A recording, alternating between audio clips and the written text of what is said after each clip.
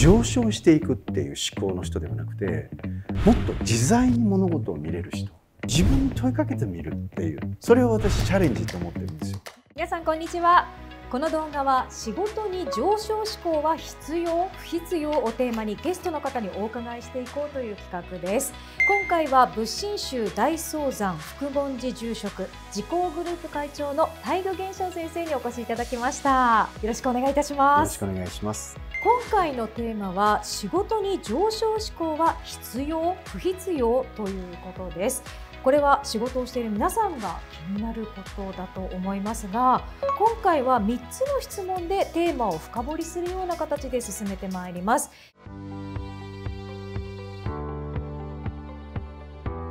先生は住職になる前にご自身で授業をされていましたが仕事に上昇志向を持って取り組む必要があるのか過去のご経験を踏まえてお話をお願いいたします。上昇志向って聞くとどんな感じですか？自分を高めていこう能力を上げていこうというイメージでしょうか？上昇志向という言葉の裏に、はい、何かこう上昇していけない自分上昇していかなければいけないと思ってる自分とか、はい、すごくこう人を追い込んでいくような感じがなんとなく私はするんです。これも前南さんの力で流行語大賞にしてほしいと思ったんですけど あの上昇志向ではなくて、ええ、私はあのこれ仏教の言葉なんですけど漢字在思考っていうのを流行らせたいと思ってるんですよ。難しいからちょっと流行らないかもしれないですけど。でこれねでもどういうことかというと般若心経の中に登場する仏様があって、でその仏様を漢字在菩薩っていうんです。でこの漢字在っていうのは見るっていう字観察の観っていう字に自在って書くんですよ。要するに自由に見る。自在に見る。で例えば、まあ、ここにあの一本のペンがあったとして、はい、私たちこのペンの上を歩いていくってなると、えー、こう前に進むか後ろに行くかしかない、えー、だけど例えばアリアリさんだったら裏側にも行くし、はい、っていうことができるじゃないですか。えー、でそれが物事を自在に見るっていうことです。でその私たち上昇志向って言ったらその先ほど言ったように会社のポジションを上げていくそれから何か能力を高めていく。でそう考えるんですけど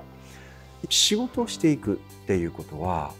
上昇方向しかないのかっていう。今のこの時代に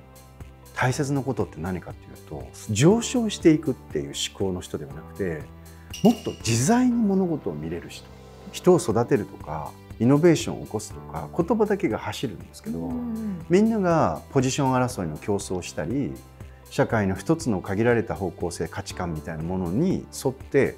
なんか上に行かなきゃみたいな発想でいるっていうことがすごく私たち自身の狭めてしまってる。なので言ったようにその上昇志向上昇志向みたいな言葉を使うと知らないうちにその上昇しなきゃいけないんだ上昇志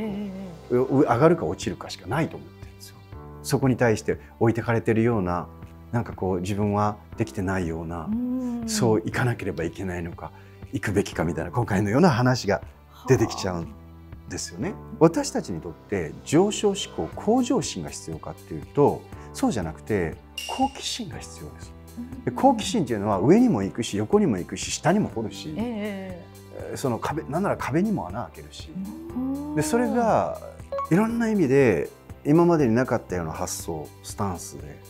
物事を見る人。そのさっき言った漢自在で見る人っていうのが求められている中で漢自在の思考。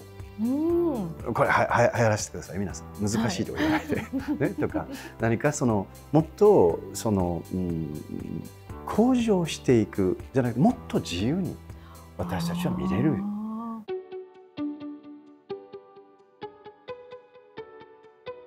スキル経験でいうと人と比べて自分の方がスキルが上自分の方が経験がある、だから自己肯定感が上がるっていう方もいると思うんですけれども。それでいくとずっと人と比べることになるので、はい、ずっと苦しい状態が続きますよね。まずね自己肯定感という言葉が間違い。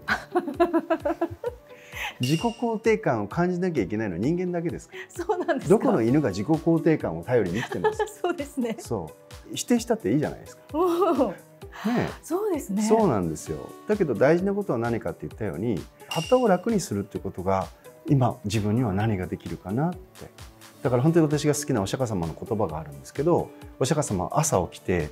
今日は誰に自費心を垂れようかっていう。あの誰に自分ができることをさせてもらおうか。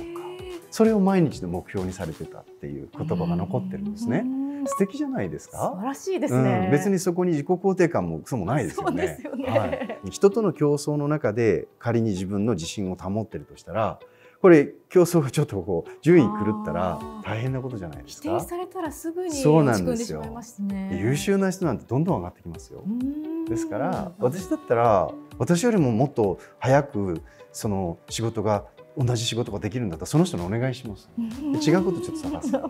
できることできないことそうそうそうあります。でその代わりやっぱり決して一瞬では真似できないようなことってあるじゃないですか。そういうのをちゃんと見つけてコツコツ自分でやるんですよ。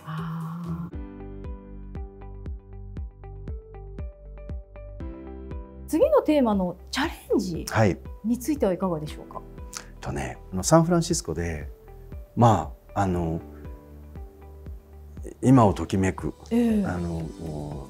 誰もが知っている世界のトップ IT 企業の幹部の人たちに研修をさせていただきました、えー、そこで衝撃的な事実というか、はい、衝撃的なことをおっしゃったんですけど、うん、当然日本にも会社があるんですよ。世界的な企業なので、えー、ところが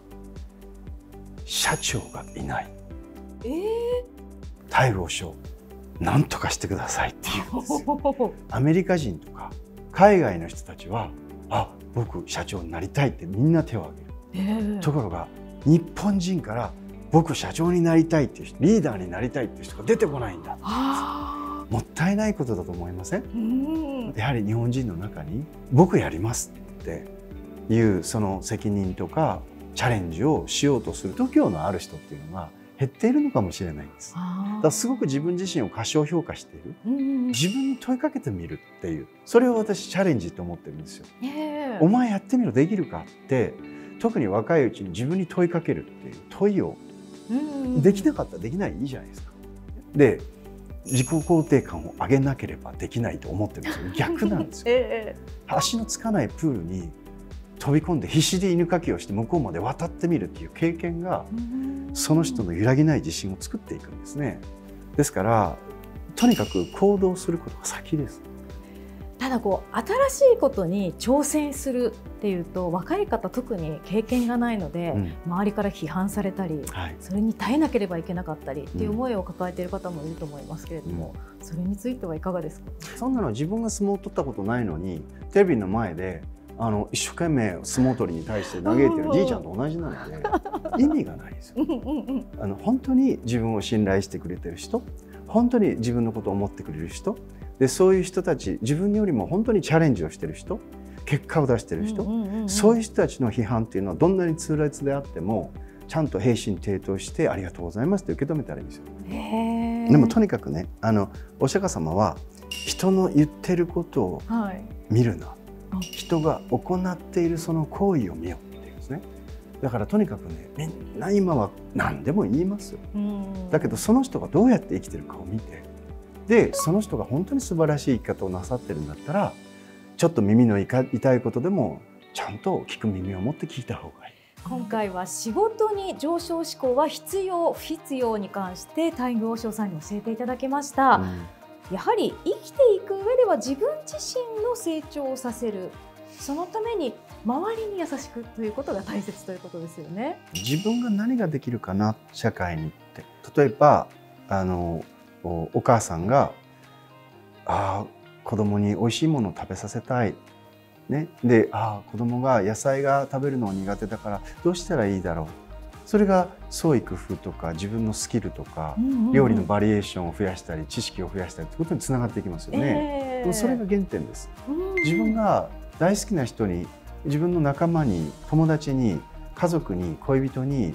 あこんなことしてあげたいこんなふうにして喜ばせてあげたいでそこから知識やスキルっていうものが自動的についていくんですね。だから何かこう頑張って資格を取ってスキルをとかでそうすると苦しくなってます。だけどもやはり自分がやってる仕事の中でこんなことができたらもうちょっとこんなこともできるな。だからそれを勉強する。だからその技術を磨いていく。それを積み重ねていったら自然といろんな能力が伸びると思います、うん、しかも嫌じゃないですえーはい、楽しく、ね、楽しいです。喜ばれるし。はい大具魚翔さんの考えをもっと知りたいという方は著書自分という壁をぜひ読んでください。本日はどうもありがとうございました。ありがとうございました。